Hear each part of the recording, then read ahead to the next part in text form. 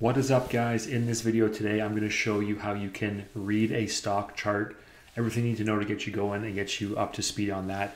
We're going to use a free resource today that I debuted in a different video yesterday. If you remember that, it's called Yahoo Finance. You can chart for free on this site. I'm going to switch my screen here and we'll get you guys going and get you a view of what it looks like. So back to, if you remember from yesterday, Yahoo Finance here, you can type a company up in the top. I'm just going to click on Tesla right here to get up to the company page and we want to go to chart or full screen here. Let's click on chart and open up the chart page and get you started with how it looks. Wait for it to load.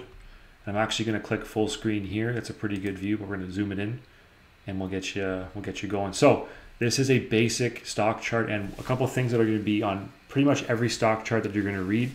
It's going to have the, the, the company or the ticker symbol at least in the top left with the price, the actual movement of the stock for that day or the, the, whatever it is index fund etf whatever it is and the percentage move for that day. It's also going to show you the price along the blue line on the line chart. As it moves across it's going to change the price and you can have crosshairs on the page like I do that are calling out the date at the bottom and the price on the right. But you also have this little legend over here to help you out and see the price action as you move across in time. On the right hand side of the chart the right I guess it would be called the X X or Y axis. I can't remember from my grade 10 math, but that's the axis there. And it's going to give you the price of the stock. And as you zoom in or out, it's going to change as well. See how we zoomed into a range of a few, a few, a few uh, months here on the bottom, but the stock price moves. And as you zoom out, because the stock has made different moves, you're going to have a bigger range of price up there. It's going to change. And you can zoom all the way out over time, all the way to when the stock first debuted back in 2015. So we're showing at the bottom is always time Right now we're showing six years of data. If you scroll in with your mouse, it goes uh, more day by day. Now we're only showing about a month's worth of data. You can also change this at the top. Right now we're showing one year. You can go two years. You can go five years with Yahoo Finance, max it out, all the way down to one, one day, five day, one month. Let's go back to one year though. And it's worth noting that right now, every point on this chart, like the line graph, is showing the closing price of the stock for each day. So the interval is one day. If you change it to one minute, it's showing you the stock price minute by minute, and you can see how the, the bottom changed from days to actual time, from 12 p.m. to close at 4 p.m. and every day, every minute, sorry, is is tracked on here time by time. You see the time going up by minute at the bottom. Now, if you change that back to let's say an hour, you might go back, and now we're going to get into a longer time frame again. We go from a few hours to uh, just over just under a month of data here, or just over a month of data. And again, it's every hour by hour at the bottom, the stock price, you're seeing it shift. So you can customize that to your liking. I like to leave it at one day. And I would recommend you do the same as a starter with a one year time frame uh, for your chart. The other thing I want to mention here, I'm going to close this off, we don't need that for now, is volume is tracked at the bottom of most charts. And volume is important because it gives you an insight into how active traders are with a certain stock.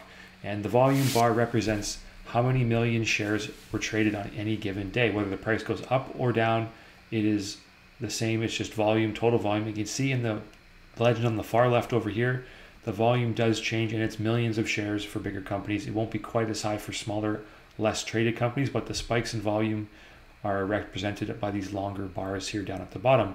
And red days mean days the stock price moved down, and green days are when the stock price moved higher or made newer gains. Other things you want to note is that you can change this line to other represent other things. You can change it from a line to an area. You can change it to a candle where red and green candles represent down days on red, up days on green. I'll show you how to read candlesticks in a different video. You can use hollow candles, you can use bars, and you can use colored bars. So there's lots of different options. I'm a candlestick guy myself. I like to use candlesticks uh, to get a little bit better picture of what's going on versus a line chart. But line charts are super easy to read as well and totally usable for beginners and veterans alike. Now, the last thing I want to show you here is how you can add some indicators to your chart. Now, let's add a moving average and see what it looks like on the chart. So we've added the 50-day moving average, and that's just giving you an average price at the close of the past 50 days. And every day that moves forward, it adds on one more day of data. It just gives you an idea of where the price had been and where maybe it's going. And let's put the 200 on there as well, just to give our chart some more color. You can see the 50 day is pink or purple, and the 200 day is the light blue, and they're added in the top left as part of the legend as well. And you can see them now as you change your time horizon on the bottom. Other things you can add, you can add other indicators, maybe some RSI or Bollinger Bands. Let's put that at the bottom. You can see that here below the volume. You can track RSI with some over overbought and oversold areas.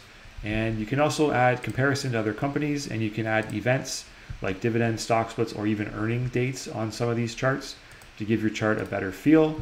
You can kind of just customize it the way you want. And the name of the game is you want to be able to learn to read these charts and see where the stock price may or may not go. It helps you make your hypothesis when you're making your trades and gives you the ability to defend yourself, defend the trades to your future self because you made a setup based on a technical uh, framework that a chart was showing you. So I hope you guys enjoyed this video. If you want to know more, go ahead and check out my other videos or go to www.tradingoptionsdaily.com to get started. Thanks so much. See you on the next one.